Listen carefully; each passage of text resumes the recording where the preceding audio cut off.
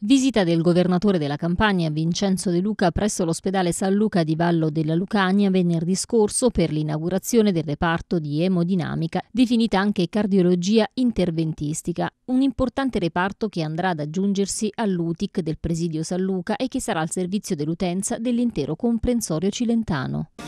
Noi abbiamo realizzato questa bellissima struttura di emodinamica l'abbiamo realizzata già da qualche mese, dovevamo venire qui a Vallo, poi abbiamo avuto problemi di Covid, quindi ne abbiamo approfittato intanto per venire a inaugurare questa bellissima struttura che è parte di un investimento complessivo di 18 milioni di euro che facciamo nell'ospedale di Vallo.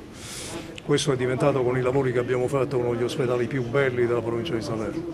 Si vede, chi entra qui ha un'immagine davvero splendida dell'ospedale abbiamo altri investimenti in programma, abbiamo qui l'unico centro di procreazione medicalmente assistita della provincia di Salerno, un altro dei punti di eccellenza.